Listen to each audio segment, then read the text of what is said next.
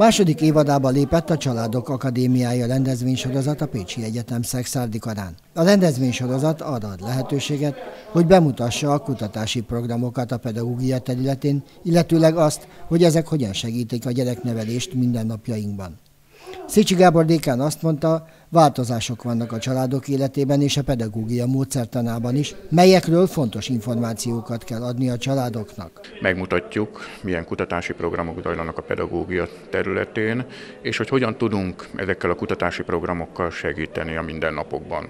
Anyukáknak, apukáknak, családtagoknak, annak érdekében, hogy megértsék azokat a változásokat, kihívásokat, amelyek ma a családot érik, és megértsék az új nevelési módok lényegét is, hogyan lehet ezekre a kihívásokra megfelelő módon reagálni. A nyitó előadásra Böjte Csaba Ferences rendi szerzetest kérték fel, aki arról is szólt, a pedagógia lényege a gyerekek tehetségének gondozása és kiszélesítése. Ha az iskolának tudunk nyitani egy ajtót, egy kaput ami valamilyen módon a természetet, a természethez közeli életet be tudja emelni.